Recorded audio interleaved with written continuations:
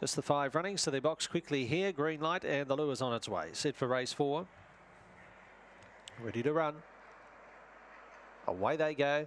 Last set of boxes was Star Magic and good pace from Don't Start Now and also Ryland Bale. And Ryland Bale works across or Don't Start Now kicks up on the inside. It couldn't cross Ryland Bale and Don't Start Now kicks through and gets two in front.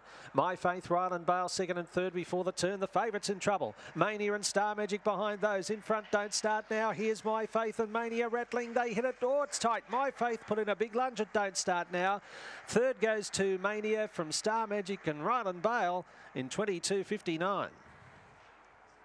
It's gone round at decent odds today. My Faith, the grade one assessed chaser here in the free for all. It's put in a big lunge on the outside as they hit the line. Seven and one, one and seven.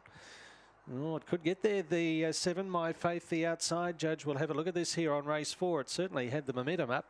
And it's got it. Number seven, the winner at around eleven thirty and two dollars eighty. My Faith, the winner. That's win eight at the journey from 22 attempts with seven minors.